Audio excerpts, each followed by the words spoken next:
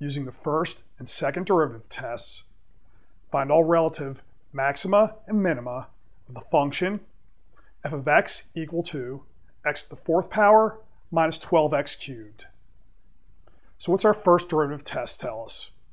We're going to have a critical point at x0, so that's where f prime is either 0 or undefined. We're going to check the change in sign as we go from one side of x0 to the other. If it goes from positive to negative, our first derivative, then we're going to have a relative maximum. If it goes from negative to positive, we'll have a relative minimum. And if the first derivative, the sign stays the same on each side, we'll have neither. Okay, so let's check our function. We take our first derivative, going to get 4x cubed minus 36x squared. I can factor that into 4x squared times x minus 9. So I have critical points at 0 and 9. Let's take a look at the picture. So carve my region up, put a slash in at 0, slash in at 9. I'm going to check one point on each region to determine increasing or decreasing. We're really just mostly interested in the sign, so I can use the first derivative test. So the points I'll check will be minus 1, 1, and 10. Now, if I put minus 1 in, we'll get a minus sign out. We're not worried about the actual number. We only care about the sign. If I put 1 in, we'll get a minus sign out also. So we note as I go from this side to this side on our critical point at 0, we're going to have neither. The sign never changes. Then let's try the derivative at 10. Here, we're going to get a positive sign.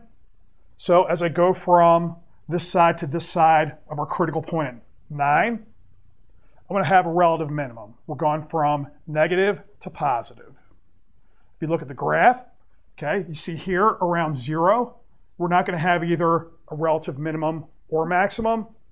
And then if I look around our graph at x equal to 9, we're getting a relative minimum as promised. How about the second derivative test? What does this say? x0 is a critical point. We apply the second derivative to x0. If the answer is positive, we have a relative minimum. Okay, remember, if it's positive, we're concave up, so that means we're at the bottom. If when I apply the second derivative to x0, I get a negative number. I have a relative maximum. Okay, there we're concave down, so you're at the top. And then if I get zero or undefined, inconclusive, I need to do more work. Okay, usually that's going back to the first derivative test. Okay, take our second derivative. What do we get? We're going to get 12x squared minus 72x. Factor out a 12x, leaves me with an x minus 6. If I put 0 in there, it's our first critical point. We get a 0 out, so second derivative test is inconclusive. Now note, the answer here is not that we have neither a relative min or a relative max. It's just that we need to do more work. Second derivative test can't tell us the answer. We check the critical point at 9. We get a positive number out, so that means concave up, and then I have a relative minimum. Okay, we check the graph. Here, we can't say anything. Here, we have a relative minimum. So at least in the point where we get an answer, second derivative test checks out.